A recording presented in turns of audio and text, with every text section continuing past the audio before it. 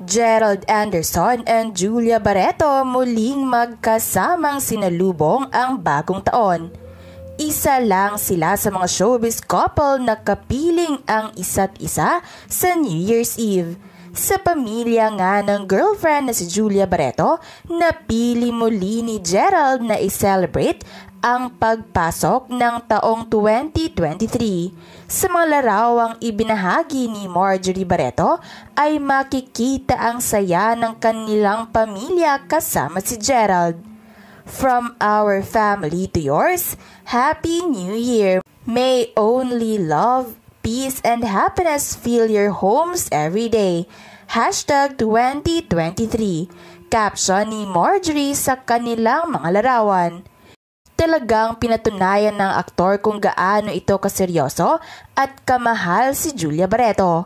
Maging noong Pasko ay kasama rin nila si Gerald. Super close rin ni Gerald kay Marjorie Barreto na talagang boto rin sa aktor para sa anak. Maging ang mga kapatid ni Julia ay kasundong kasundo rin ni Gerald talagang part of the Barreto family na nga si Gerald dahil sa mga importanteng okasyon ay always present ito. Siyempre, nakijoin rin si Gerald sa IG Live ni Danny Barreto.